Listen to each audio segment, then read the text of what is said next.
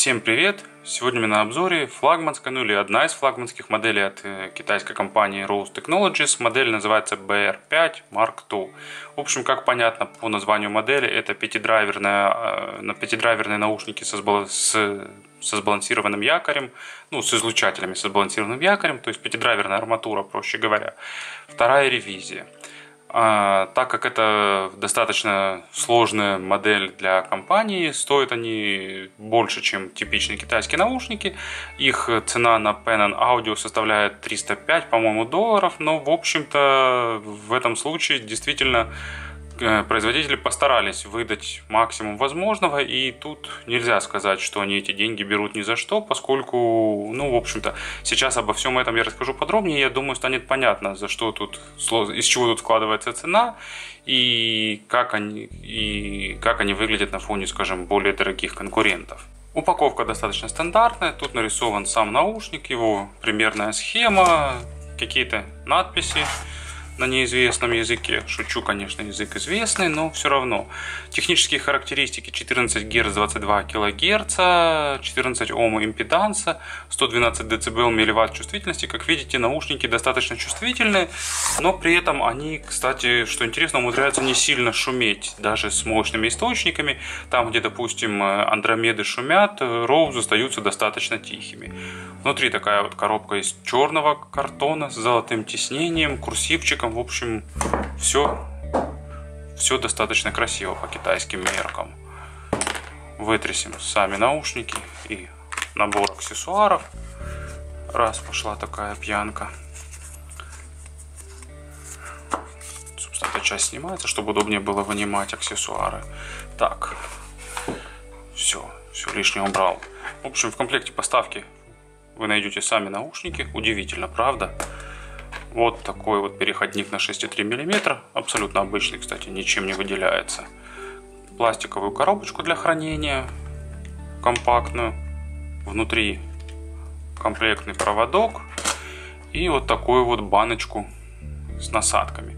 В общем-то, баночка заставляет подумать о том, что наушники, производители наушников скооперировались с производителями косметики потому что баночка явно от какого-нибудь кремчика или чего-то, или румян, или чего-то похожего. Насадок в комплект положили немного, и они необычные. Пенки, маленькие двухфланцевые елочки, а также средние и маленькие однофланцевые насадки. Почему, может быть, возникнет вопрос, почему только маленькие и средние? Смотрите, потому что сами наушники сделаны с очень длинным звуководом, вот он, как его повернуть. Он вот так вот аж изгибается в соответствии со слуховым каналом. Поэтому садятся они весьма и весьма глубоко. И поэтому крупные насадки просто так глубоко в ухо не войдут. Такая вот особенность их конструкции. Поэтому разработчики положили только те насадки, которые посчитали логичными. Ну и в целом они правы. В общем, как видите, комплект поставки не супер шикарный, но достаточно неплохой. Сами наушники очень здорово сделаны. Во-первых, ну, скажем, субъективно, но мне нравится их дизайн. У них э, есть разные варианты с разными фейсплейтами, вот этими вот панельками. У меня вариант э, с синим деревом, таким вот текстура деревя... деревянная, подкрашенная, но очень красивая. И мне, собственно, нравится вот эта курсивная надпись. Почему-то оказалось, что много у нас есть нелюбителей курсивных надписей, но мне она, по крайней мере, нравится. Также очень э, неплохо сделана сама форма корпуса. Они достаточно компактные и, основ, скажем, глубоко садятся в ухо. Может быть, они подойдут не всем, но мне, мне они садятся отлично, и благодаря вот этой глубокой посадке они обеспечивают очень э, комфортную и надежную посадку и хороший уровень звукоизоляции. Сам основная часть, сама основная часть корпуса сделана из прозрачного пластика, и это, в общем-то, позволяет увидеть все внутренности, а тут есть на что посмотреть, поскольку использовали тут достаточно сложную схему. То есть вот два излучателя – вот два излучателя видно и вид, виден один большой басовый излучатель. То есть тут используется один драйвер для NC, это Knowles, э, два драйвера для SC, на SC используется Z-Sound и на VC используется тоже Knowles, если я правильно помню, TWFK. Э, кроссовер сделан не с использованием не SMD элементов, а полноразмерных, то есть большой конденсатор, пара резисторов, проводочки, в общем, все смотрится достаточно эффектно. И что отдельно здорово, они тут сделаны три раздельных звуковода, то есть на каждый, на каждый частотный диапазон он раздельный, и они объединяются только здесь. Как видите, вот тут даже поставили какое-то акустическое сопротивление. В общем, звук тюнинговали, по крайней мере, не получилось то, что получилось. Провод сменный, используется, разумеется, MMCX коннектор. А запускает, что тут установлена защитная сетка, которая закрывает эти три выхода от попадания туда грязи, пыли, серы и, или еще чего-нибудь нежелательного. Насадки легко одеваются, но держатся весьма неплохо. Используются MMCX коннекторы. Не стали тут на разъемах экономить, они достаточно хорошо фиксируются с таким щелчком. Так, правый провод отмечен красным кольцом. Они достаточно надежные, сами по себе не отсоединяются, но при этом бульдозером их тянуть, чтобы отцепить не надо. Сам провод э, тоже достаточно неплохой, по словам Роуз, они использовали гибридный проводник, медь и посеребренная медь. Ну, скажем, я не проверял, но думаю, что похоже на правду. Хорошие качественные металлические коннекторы, сформирована заушина. Тут нет проволоки с эффектом памяти, просто мягкая заушина, но со своей задачей она справляется неплохо, обеспечивая надежную, надежную фиксацию. Так, дальше провод идет такой вот обычный, витой, до самого сплиттера. Провод, кстати, мягкий, не твердеет на холоде, не микрофонит практически, мало склонен к запутанию. В общем, весьма положительный проводочек, хорошо себя ведет. У него есть все справки и с места жительства, и с места работы. Сплиттер прозрачный, видно, что тут никакой пайки, просто дальше идут 4 провода до самого штекера. Есть ползунок для того, чтобы подтянуть себе под подбородком э, разветвление, но нужды в нем особо нет, поскольку микрофон, кабель не микрофонит. Дальше идет более толстый провод, аккуратненько сплетен, достаточно красиво, хорошо смотрится. Как поведет себя со временем неизвестно, но будем надеяться на лучшее. И идет до вот этого вот прямого штекера с логотипом компании, тоже металлический. В общем, провод собран максимально качественно. Тут есть защита от переломов, так что постарались сделать все на достойном уровне. Так что по дизайну наушники красивые, по схеме внутренней вообще очень здорово все сделали, но так как делают обычно более дорогие производители всяких кастомов. Поэтому в целом за дизайн я бы им поставил твердую пятерку. Ну и конечно же о звуке.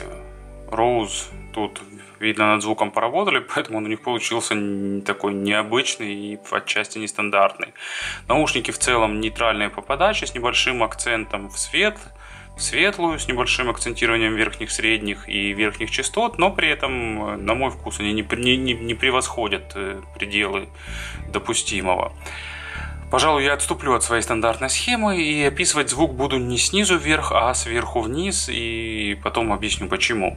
В общем, верхние частоты тут немного акцентированы, я встречал жалобы в интернете, что их много, но, пожалуй, на мой слух, на мой вкус, ну, собственно, поскольку я делаю обзоры, то я говорю исключительно о своем вкусе, то их тут нормально. И тут нет переизбытка. Они неплохо подаются, у них неплохие атаки затухания, слоистость хуже, но, в общем-то, для этой ценовой категории это ожидаемо. Разрешение нормально, тут нет излишнего акцента, ну, по крайней мере, для меня. Может быть, для тех, кто не любит верхние частоты, они будут действительно слишком яркими, но для меня они грань комфортного не переходят и за счет этого не сваливаются на тот уровень, когда уже звучит все неестественно и ненормально. Поэтому за счет вот этого акцента на VSC и VC, собственно, он и диктует основной звук этих наушников, такой объемный, эффектный, с подчеркнутым детализацией и так далее. На фоне подчеркнутых верхних, средних и высоких частот средние частоты кажутся, скажем, средние и средние кажутся отведенными на, немного на второй план. На самом деле они достаточно линейные, у них неплохое разрешение, скажем, не супер э, детально они, но разрешение нормальное. И при этом э, они просто кажутся отведенными на второй план, но на некоторых жанрах и стилях не хватает агрессии. В основном на всяком тяже не хватает иногда напора. Скажем, ну, не всегда на самом деле, но про вкусовые, ну, вернее, как про жанровые предпочтения этих наушников поговорим в конце этой части. Разрешение на средних частотах нормальное, но при этом они не вытягивают весь мусор, не суют их вперед, как часто делают арматуры, особенно многодрайверные. У них хорошо строится воображаемая сцена, больше средней по ширине и глубине, достаточно объемная, с хорошим очень разделением планов и с неплохим, э, с неплохо очерченными инструментами и достаточным количеством воздуха между ними. Поэтому вот то, чего ожидаешь от арматуры, такого вот объемного окружающего звучания, тут э, есть. И, собственно, низкие частоты. Бас тут очень неплохо подает. Он тоже такой, скорее, арматурный по характеру. Он практически линейный с средними частотами, он не акцентированный, но при этом э, у него он достаточно весомый, он обладает неплохой упругостью и ударностью, и, но вот, скажем, особенность его или характер, характер его в том, что самые глубокие низкие частоты тут очень отведены на второй план. То есть, скажем, от мидбаса и выше все отлично, самых глубоких низких частот тут немного не хватает. Ну, я думаю, в первую очередь потому, что тут используется всего один драйвер для низких частот. Ну, а может быть, просто так их задумали разработчики, чтобы ничего не наползало на середину. Поэтому, скажем, для какой-нибудь примитивной электроники, где нужна накачка басом, э, они не подойдут. В остальных же случаях, в принципе, NC тут достаточно, и они хорошо справляются со своей задачей построения основы. Тем более, что у них хорошо получается передавать текстуры, они не размазаны, они быстрые, чуть-чуть даже быстрее по атакам и затуханиям, чем должны быть. Но, в общем-то, это арматурный бас, поэтому тут э, мы... Поэтому, в общем-то, тут мы получаем то, о чем и говорим. Стилистически наушники не универсальные, но, допустим, на джазе, на классике они себя показывают просто отлично на каких-то акустических записях, на хорошо записанной поп-музыке, на не самом брутальном металле и роке тоже нормально. В общем, в тех случаях, когда нужна техничная середина, хорошие верхние частоты, они себя показывают просто отлично. На брутальном тяже или примитивной электронике они не так хороши, поскольку не для них созданы. В общем-то, можно, наверное, сформулировать так, что Rose сделали наушники для, такой, для серьезной музыки. Если говорить о сравнениях, то в целом в этом ценовом сегменте в него попадает очень много, и, скажем, сравнить все совсем я не могу, поэтому буквально вот несколько моделей, которые приходят в голову, допустим, вот первое, что в этом ценовом сегменте я обычно вспоминаю и советую, это 2000 серия гибридов от Дуну, 2000 J и обычный 2000. Но они, пожалуй, отличаются достаточно сильно, то есть 2000 J, они такие линейные, нейтральные, они более резкие. На верхних частотах, у них больше ВЧ количественно, и они более заметны, особенно на некачественном источнике. При этом у них менее, скажем так, более линейно относительно ВЧ середина и, скажем, такой сухой нейтральный бас, который уходит глубже, но при этом ему немного не хватает э, весомости, пожалуй. Тут чуть больше весомости на низких частотах. Обычный 2000 это в целом такая более типичная гибридная модель с, медлен... с более медленными НЧ, с э, более, с, скажем, с более арматурными средними частотами, такие более нейтральные, более суховатые, чем здесь. Поэтому вот. еще, потому что просто вспомнились, потому что недавно на обзоре у меня были это Campfire Audio Comet, э, тоже на самом деле не похоже, у кометов у них акцент сделан на средние частоты, а тут середина как раз уступает, э, особенно верхним частотам, а у кометов верхние частоты наоборот отведены на второй план. Поэтому тоже на самом деле не похожи. И, там, я даже не знаю, что вот вспомнить, скажем, Falcon C, который я очень люблю, но, скажем, Falcon C это эталон в первую очередь низких частот для меня.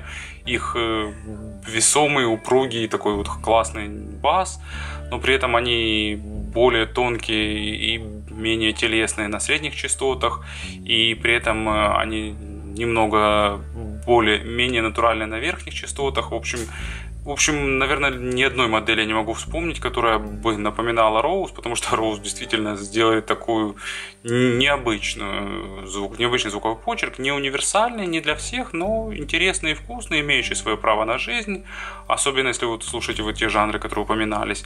Ну и при этом наушники сделаны очень классно, на высоком уровне абсолютно, использованы сложные конструктивные решения, да и просто они стильно выглядят, так что если у вас будет возможность ознакомиться с ними, крайне рекомендую.